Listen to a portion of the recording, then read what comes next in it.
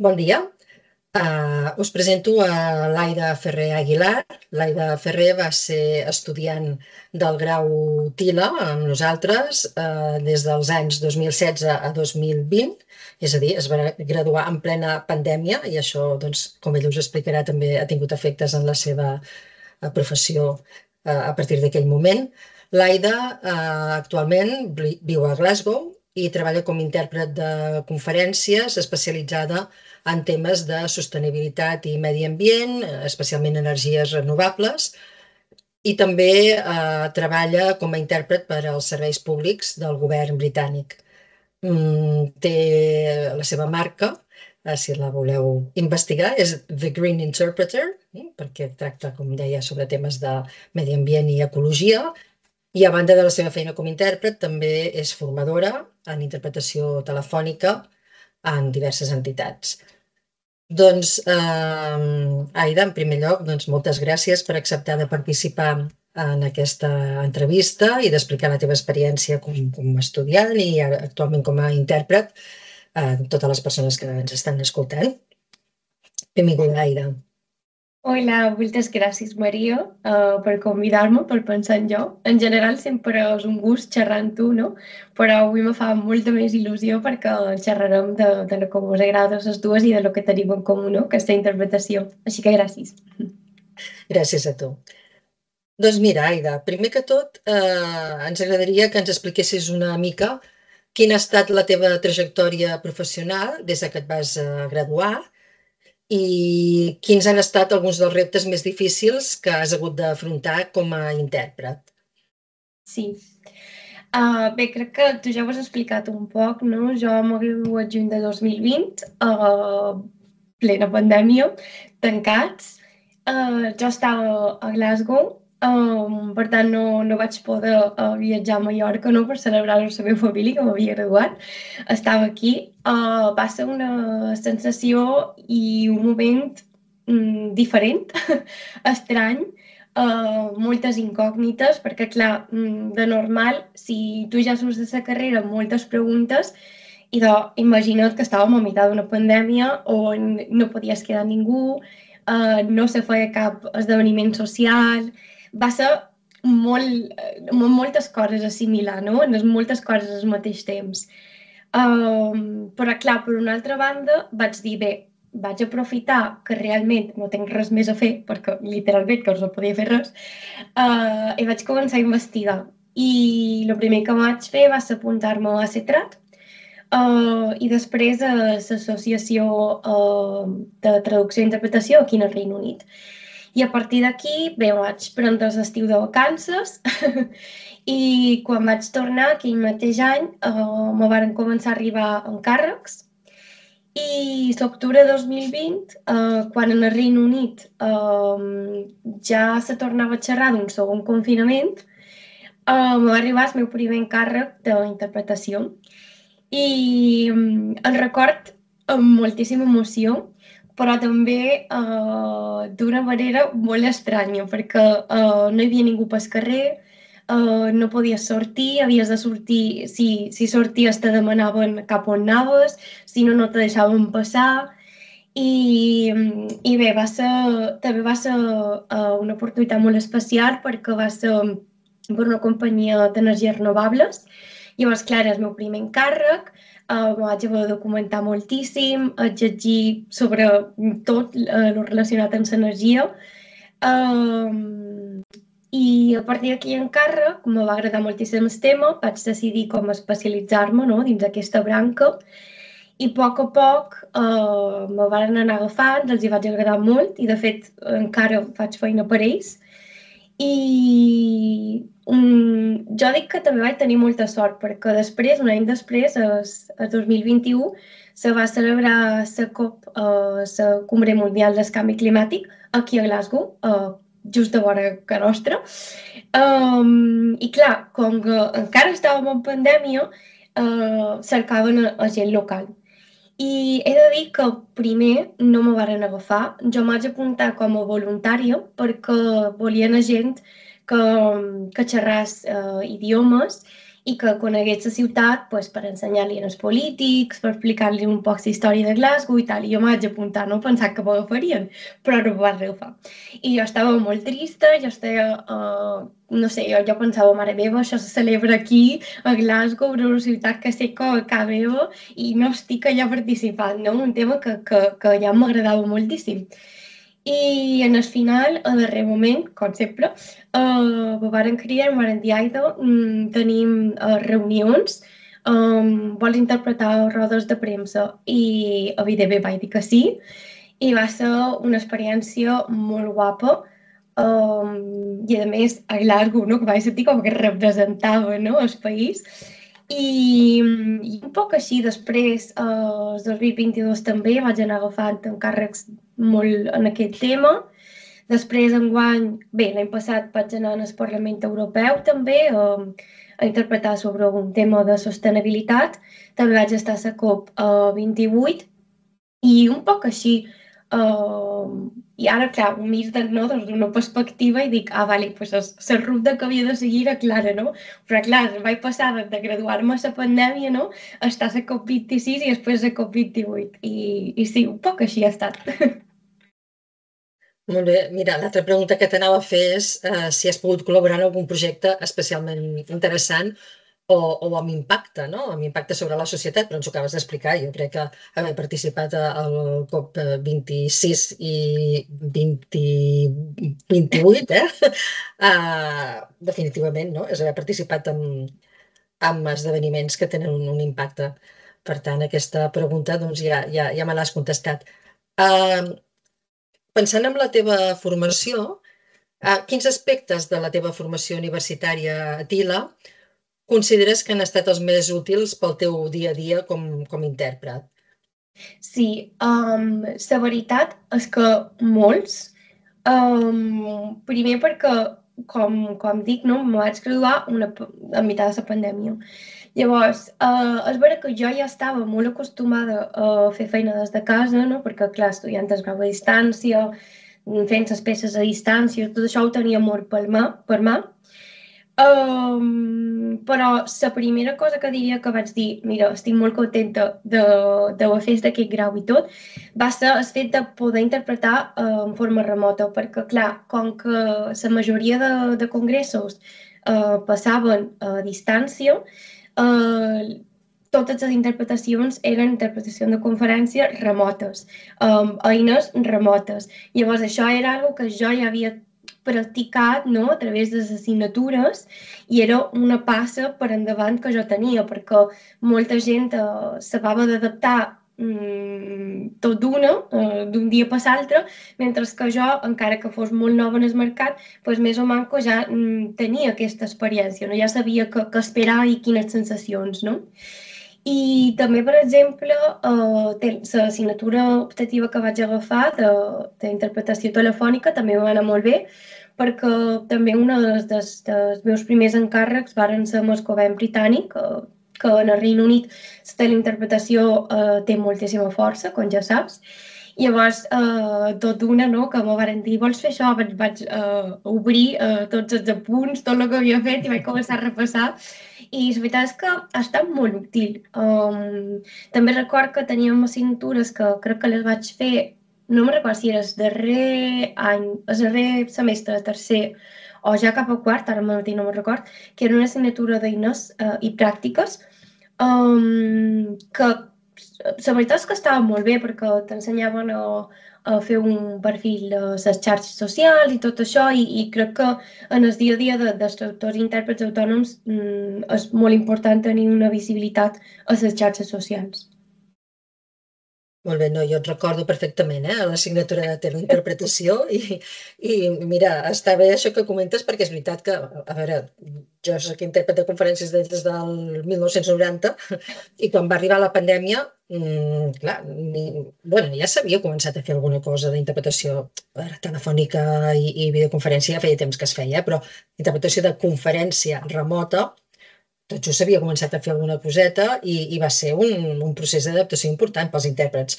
Llavors, bé, que la, la teva formació a, a, a Tila doncs, ja portessis una mica aquesta, bueno, aquest sistema, doncs segur que, segur que va ser un avantatge. Vull dir, és, ens alegra no? de sentir que, que malgrat la, la, el difícil moment en què vas començar a treballar, doncs, uh, vas tenir aquesta, aquesta avantatge competitiva potser sobre d'altres intèrprets. No?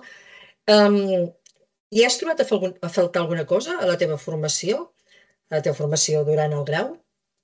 Sí, um, la veritat és que diria que és bastant completa um, i a veure, sempre hi ha coses a millorar, està clar.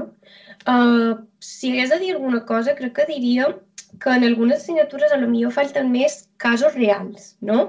De casos que després puguis posar en pràctica uh, quan, quan t'escriu un client i, i, i te trobes en una situació en cas de demanar un pressupost, uh, perdó, en cas de donar un pressupost, en cas de donar un plaç, no?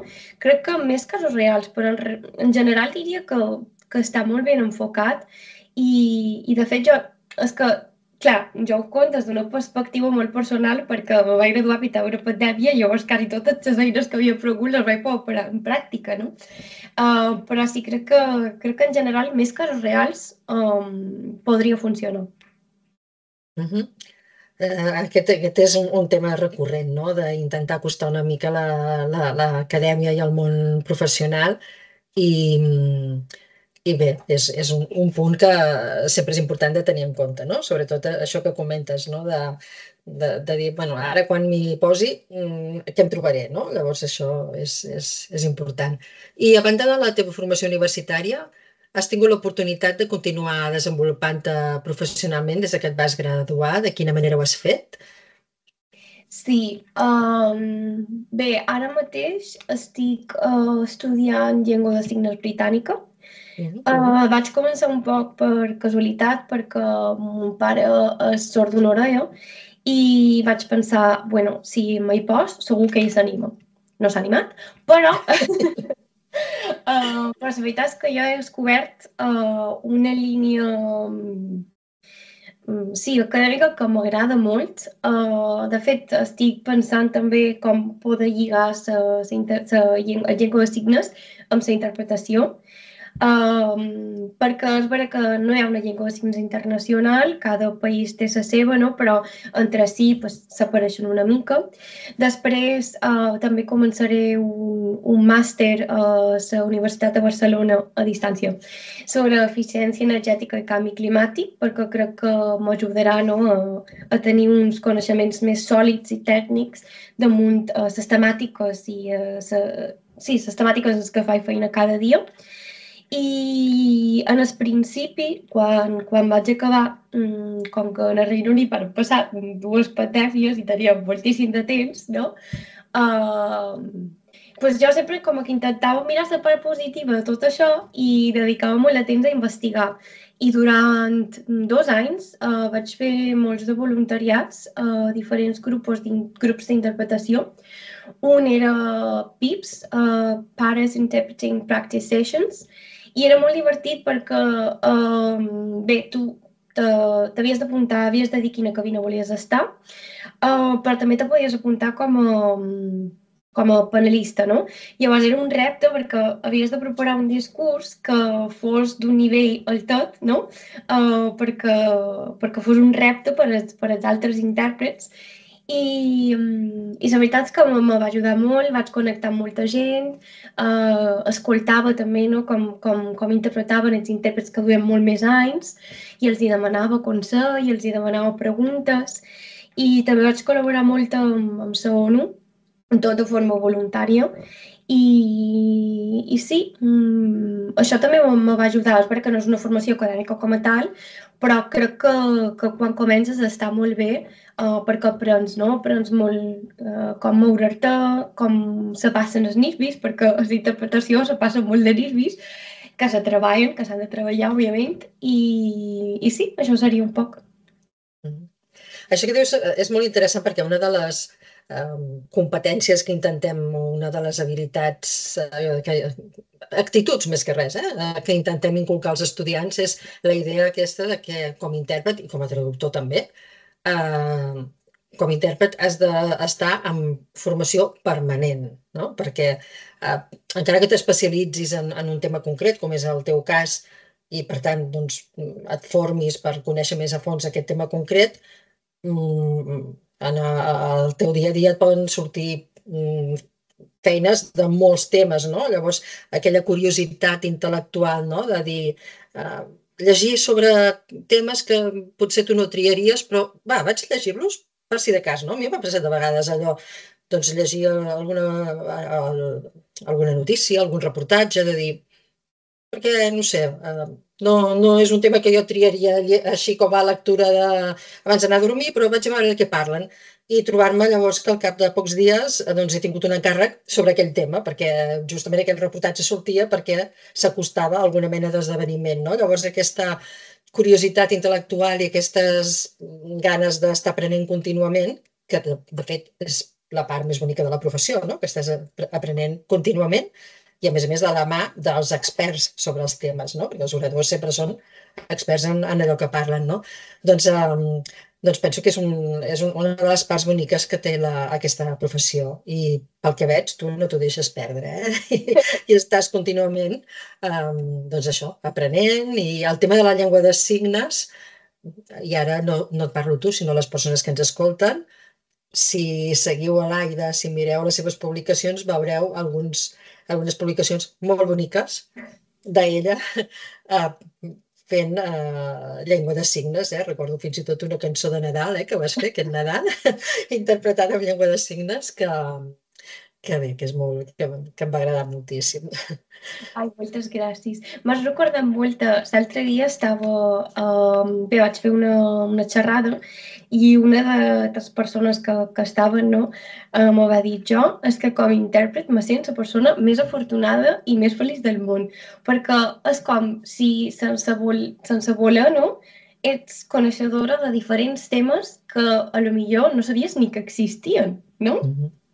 Sí, sí. sí. Um, això m'agrada molt i és una de les parts per jo també més, més guapes, no? que, que és que al final te, te pot tocar qualsevol tema i has de llegir, t'has de documentar i, i aprens moltíssim.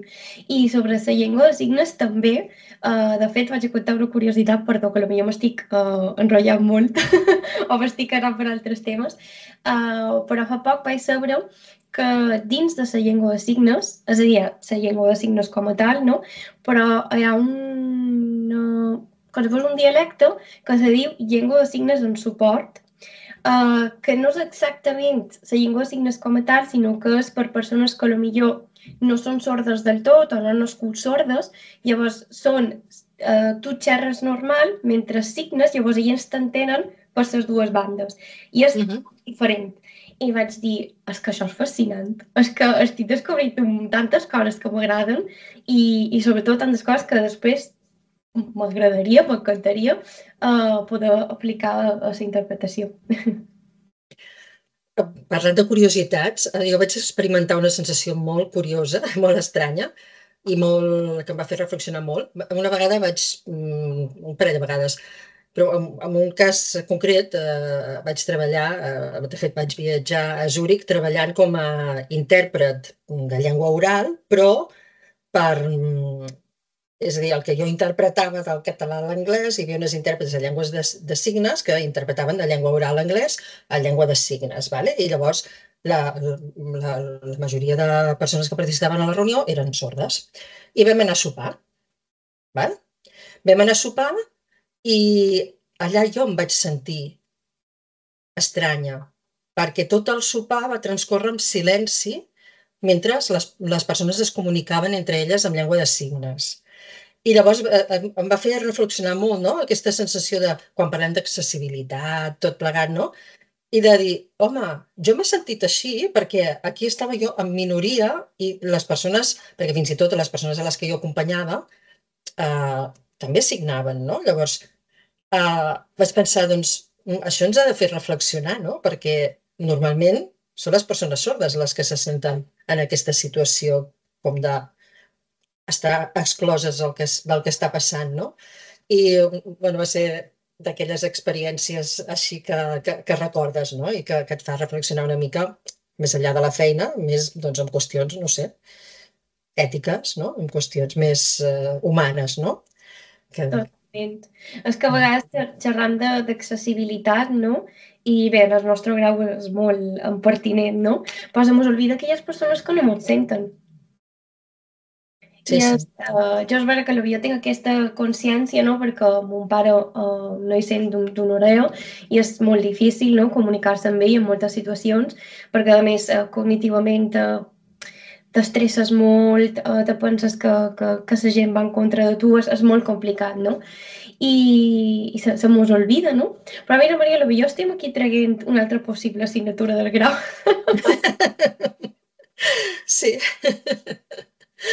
Bé, no sé, no sé, bé, una cosa per, per reflexionar, sí, sí, però mm, és, eh, realment mm, és un altre, un altre tipus d'interpretació que no, que a vegades no s'hi pensa, no? Com, com una possible sortida professional, una possible especialització, no? Que, que és interessant. Molt bé, ara, ara ens hem desviat una mica del tema, però és que bueno, ens hem desviat, no? És un tipus d'interpretació que, que també mm, és important tenir en compte. Bé, inevitablement, tot i que aquesta pregunta te la deuen haver fet moltes vegades, inevitablement eh, hem de parlar d'intel·ligència artificial, eh? perquè és eh, com gairebé impossible no, no, no parlar-ne actualment. Perdó, que sentia un sorollet que, que anava aquí.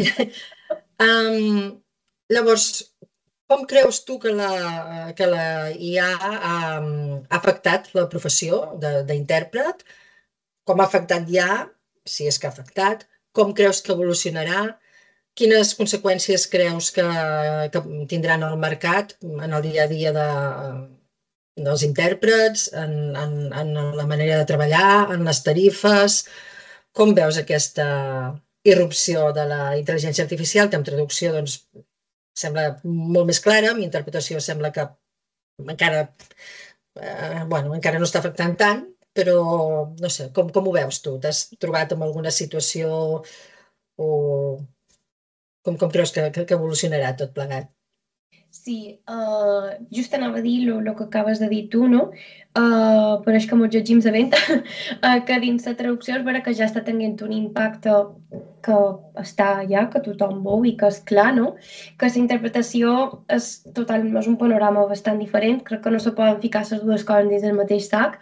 Crec que cada uh, branca s'ha d'analitzar per separat Uh, dins l'interpretació és vera que ja hi ha aplicacions uh, que fan de tot. És a dir, que tu te graves en sabó i ja li està dient a l'altra persona no? en un altre idioma simultàniament.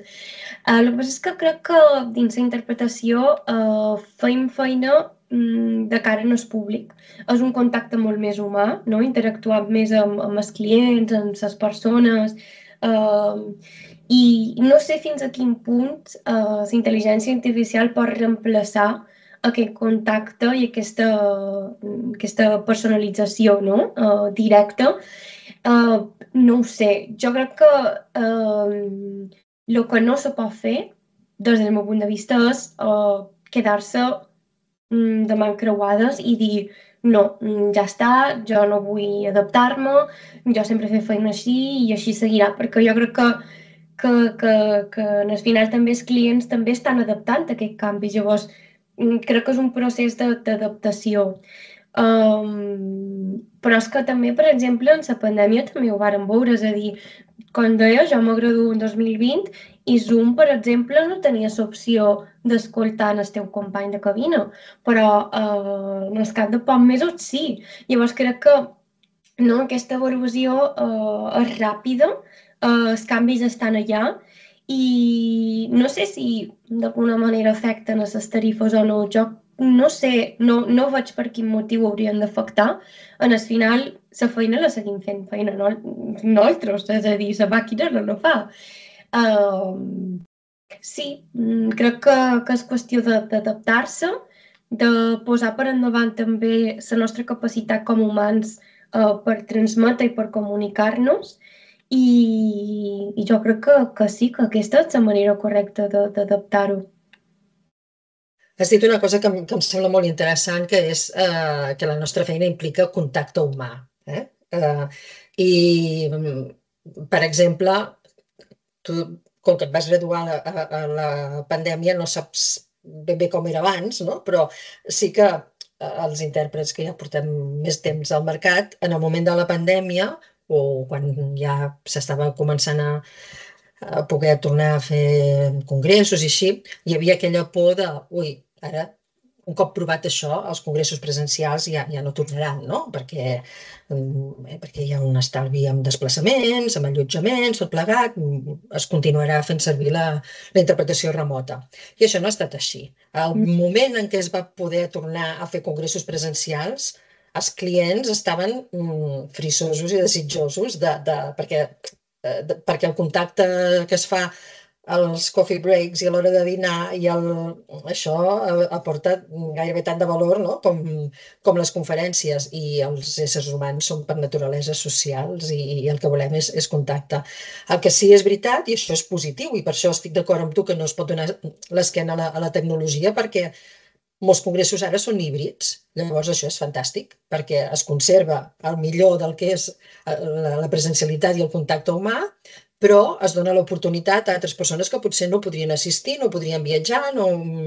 Bueno, llavors, a, a, a, a abraçar diguem, la tecnologia en la seva part positiva, com, com comentes tu, mm, doncs és, és el que, el que cal fer, no?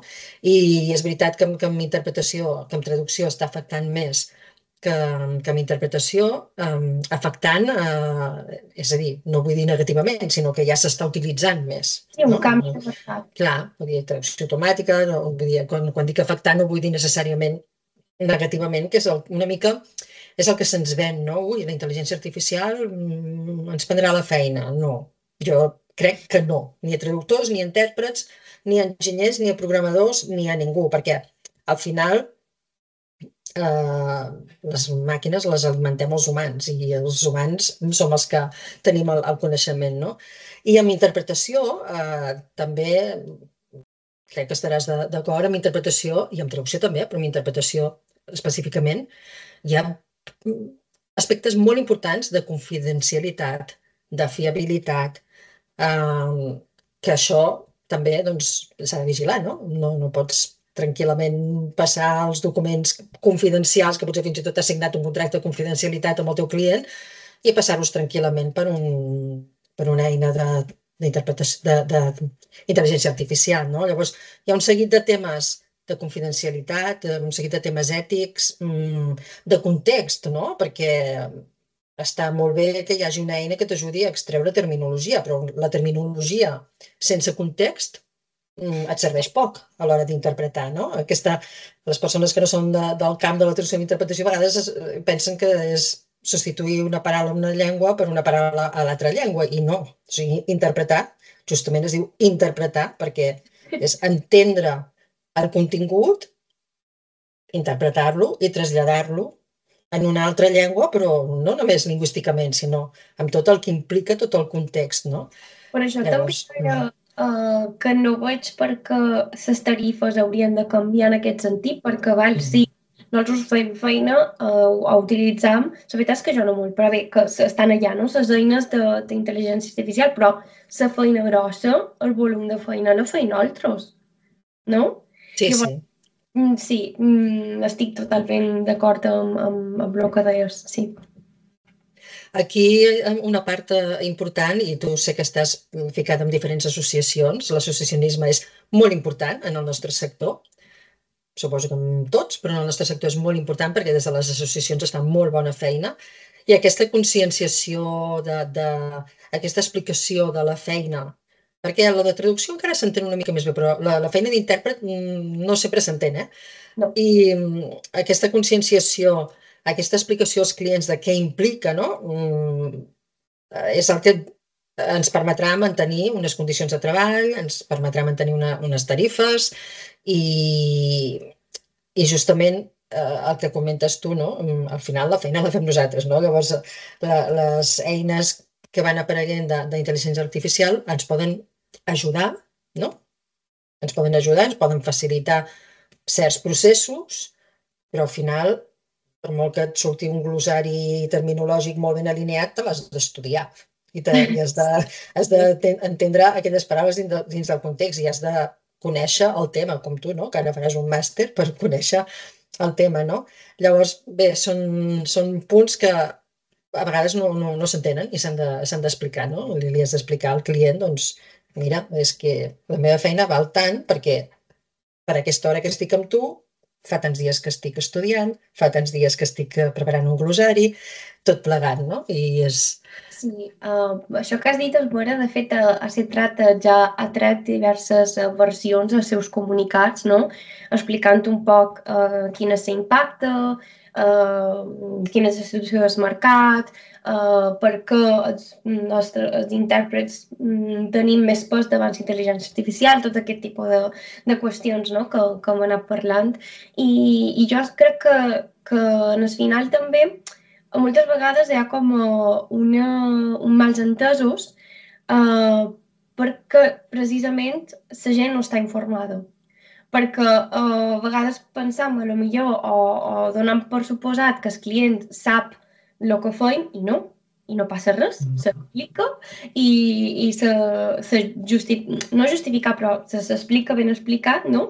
I jo crec que, que, que en el final aquesta és la postura correcta davant, davant l'intel·ligència artificial. I una cosa, si vols així breument sobre aquest tema, és que fa uns dos o tres mesos um, l'associació eh, bueno, l'associació escocesa també fa moltes, moltes activitats i molts de programes i és molt interessant, no? I un dels professors de la Universitat d'Edimburg hi fa feina en el màster d'interpretació de conferències i està molt ficat tot, um, tot aquest tema d'intel·ligència artificial i tecnologia i tot això. I va fer una xerrada no? i deia que, clar, ara, la intel·ligència artificial, si si hem de posar estadístiques, no? està com en el màxim perquè és una novetat, perquè tothom està entusiasmat, perquè hi ha una crisi econòmica i en el final també la gent cerca de retallada per tot i, i llavors és com a la novetat, no? Però si, si ho penses bé, això sempre ha passat en molts àmbits. És com el més nou, mm. sempre el que agrada més i el que la gent està més enganxada, però després se donen compte de que això no és tan bo i comencen a, a, a fer uh, voler no utilitzar-ho. I al final, sí, és com, com un procés, no? I, I, bueno, adaptació, jo crec que això és la clau. Sí, i tant amb, amb potser en traducció més que en interpretació, perquè encara no ha arribat tant, no? però uh, la, la, la feina important aquí és um, fer el paper d'assessor, de consultor no? del client, de dir, mira, doncs, um, ja, per, per, això que, per aquesta necessitat, el que, igual que com a intèrprets, el client ens diu doncs mira, necessito això, i tu li aconselles fer simultània o fer consecutiva, o li aconselles fer un enllaç, o li aconselles, eh, no sé, mm, quantes cabines necessita, o tot el que sigui, no? Doncs amb, amb, amb traducció, que ja està més, més avançat tot el tema de traducció automàtica, i així també dir-li al client, mira, per això que necessites, podem fer servir aquesta eina amb, amb una postedició, amb una correcció, el que sigui. Per això, per això altre, no, perquè hi ha una part mm, absolutament creativa de transcreació, de branding, del que sigui, que eh, la intel·ligència artificial encara, no sé si, no sabem, el futur, però encara no, no, no és capaç de fer, no?